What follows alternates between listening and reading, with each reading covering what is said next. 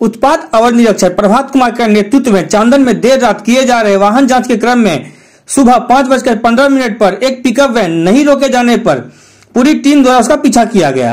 Pickup number जे H सत्रह जे अंठावन उन्तीस इनारा वन पहुंचकर पिकअप चालक वाहन रोकर पूरब की तरफ़ जंगल में भागने में सफल रहा। वाहन के ऊपर रखे सड़ी मछलियों के नीचे मछली वाली थर्मोकॉल के बॉक्स में 750 ml ओल्ड मॉम्स रम की 831 बोतल करीब 70 कार्टून बरामद की गई। फरार चालक एवं वाहन स्वामी अब्दुल फराह पिता उस्मान अंसारी, तोप चांची रोड धनबाद के खिलाफ केस दर्ज कर लिया गया है। कोविड 19 के बढ़ते मामले को देखते हुए लगातार कैंप लगाकर लोगों का जाँच किया जा रहा है। इस अभियान के तहत आज कटोरिया प्रखंड के बड़वासनी पंचायत में जाँच अभियान चलाया गया, जिसमें कटोरिया अस्पताल के लैब टेक्नीशियन राजीव नंदन ने बताया कि हम लोग लगातार कैंप लगाकर रोज़ाना करीब 175 लोगों का जाँच कर रहे हैं।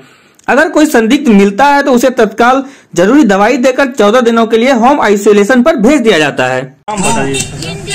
मेरा नाम राजीव नंदन हुआ। मैं रेफरल अस्पताल कटोरिया से लैब टेक्नीशियन हूँ।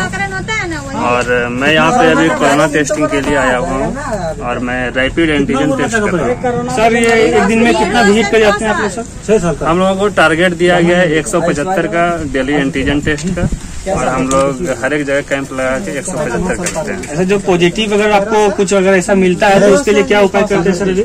अगर किसी का पॉजिटिव अगर आ गया तो उसको जनरली हम लोग होम आइसोलेशन कराते हैं। होम आइसोलेशन का फॉर्म भरवाते हैं और उसके बाद उसे मेडिसिन दे के उसे होम आइसोलेट कर देते हैं।